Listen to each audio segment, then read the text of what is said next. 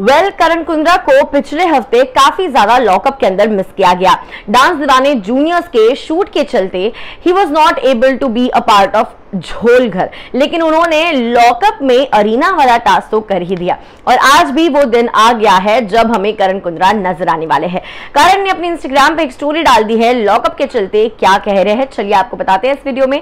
मैं वेदांगी करण का आपका स्वागत करती हूँ फीफा फूज पे। And guys let me tell you this thing कि आज जो है अरीना वाला टास्क हमें देखने मिलने वाला है। सो आज का लाइव फ़ीड बिल्कुल भी मत मिस करना।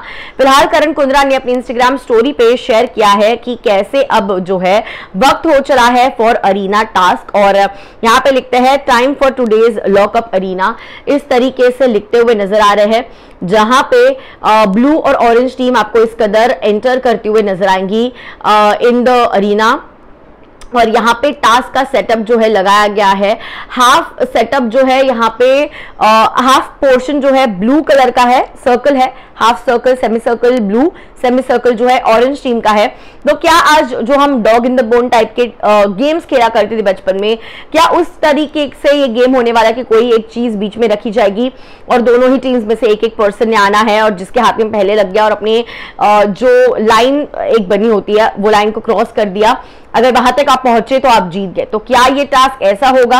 या कुछ और टास्क होगा? ये तो हमें आने वाला वक्त बताएगा, लेकिन फ़िलहाल जो है लाइव फ़ीड पर हमें थोड़ी ही देर में करण कुंद्रा एंड उसी के साथ साथ आ, ये जो हमारे कैदी है नज़र आने वाले हैं आज का लॉकअप अरीना खेलते हुए।